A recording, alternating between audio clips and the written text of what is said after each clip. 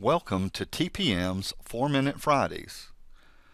My name is Bruce Harris. I'm the Senior Application Engineer, and today's topic is going to be making text in Revit MEP Electrical symbols right hand read.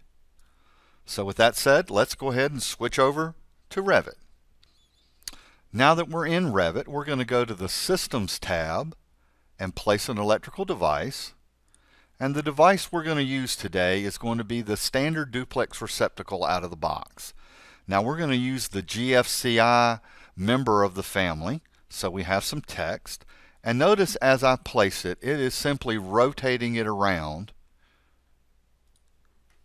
So it is not maintaining what we would call right hand read. So this is upside down up here. Also, this symbol's a little low and into the wall, and I want to raise it up and, and kind of bring it out of the wall a little bit as well while we're in there.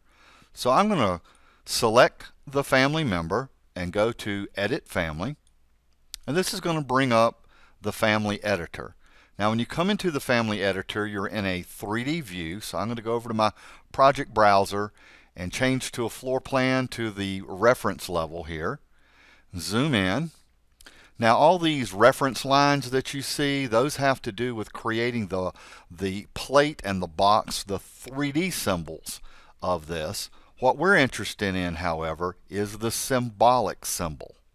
So when I select that, you'll notice that Edit Family is available again. And that's because this is a nested family, a family within a family. So I'm going to edit the symbolic representation here. Now to make it right hand read is very simple. In this first screen, before you select anything, if you come over here and say keep text readable, that will make the symbol right hand read. Now do not confuse it with the keep readable as a function of the text, totally separate things. The one you need to do is keep text readable right here. Now that I've done that, I also want to reposition that text so it's not in the wall. So I'll move it up and to the right a little bit.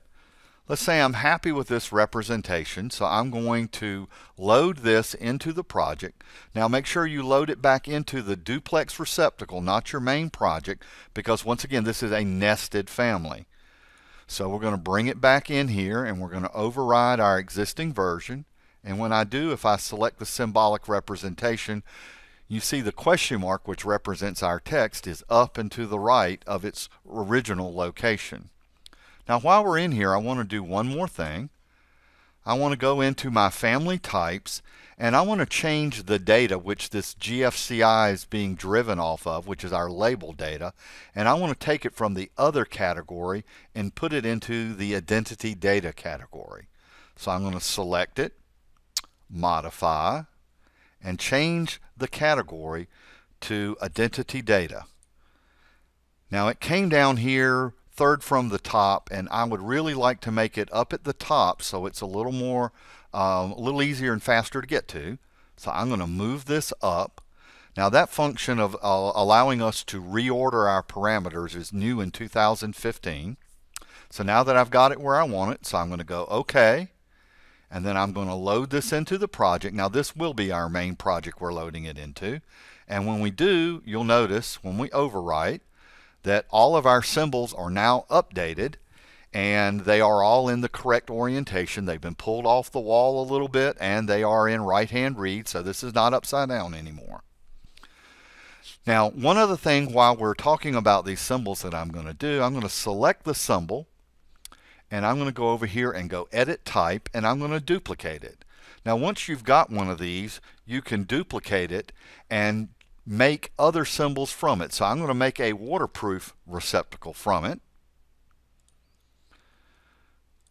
So now I have a waterproof receptacle in my family. So now my family has three members, GFCI, standard, and waterproof. This has been another presentation in the series of 4 Minute Fridays from TPM. My name is Bruce Harris and I want to thank you for joining us and invite you to come back and watch again. Thank you.